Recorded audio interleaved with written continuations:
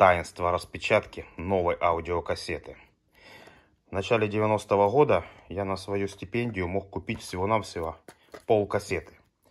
То есть за две стипендии я покупал одну кассету. И вот сейчас при вас мы вспоминаем этот манящий, манящий момент, когда мы вскрываем упаковку, смотрим на кассету – любуемся пока ей.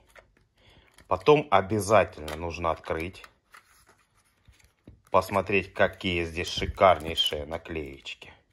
И потом понюхать, а, понюхать полиграфию, открыть вкладыш и непонятным взглядом посмотреть, что здесь написано.